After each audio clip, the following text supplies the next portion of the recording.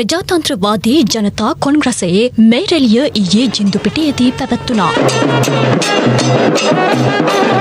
ඒ පාර්ලිමේන්තු මන්ත්‍රී දයාසිරි ජයසේකර ඇතුළු පිරිසකගේ ප්‍රධානත්වයනුයි.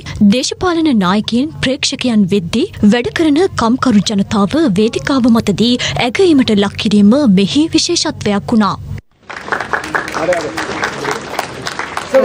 ඉස්රාගන්න ඉස්රාට අර අර දැන් අද දැනගන්න ලැබුණ තොරතුරු අනුව මේ මැයි දිනේට පමණක් සෑම පක්ෂයකින්ම වියදම් කරපු මුදල මිලියන 1000 පැනලා තියෙනවා. අපිට තේරෙනවා ඇති කොයිතරම් මුදලක් කම්කරුවන් වෙනුවෙන් ওই ටික වියදම් කරා නම් ලොකු දෙයක්. හැබැයි පක්ෂ තමන්ගේ බලය පෙන්වීම සඳහා මිලියන ගාණම් බිලියන ගණන් මේ රටේ මුදල් කාබාසිනය කර තැනකට තල්ලලා තිබෙනවා. ලෝක වෙළඳ පොලේ තෙල් මිල අඩු වෙනකොට රටේ තෙල් මිල වැඩි කරනවා. ලෝකෙ තෙල් මිල අඩු වෙනකොට රටේ තෙල් මිල වැඩි කරනකොට රටේ තෙල් මිල අඩු කරනවා. මේක එහෙම් පිටින්ම මැයි දිනේට ගහපු දේශපාලන තුරුම්පුවක්.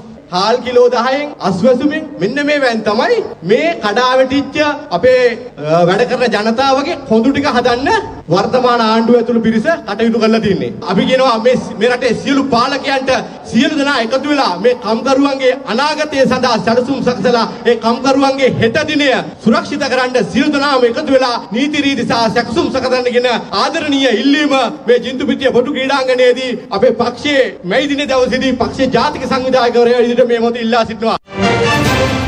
රටේ ලෝකෙ සිදුවන උණුසුම් පුව දැනගන්න සියත නිවස් YouTube channel එක අදම subscribe කරන්න.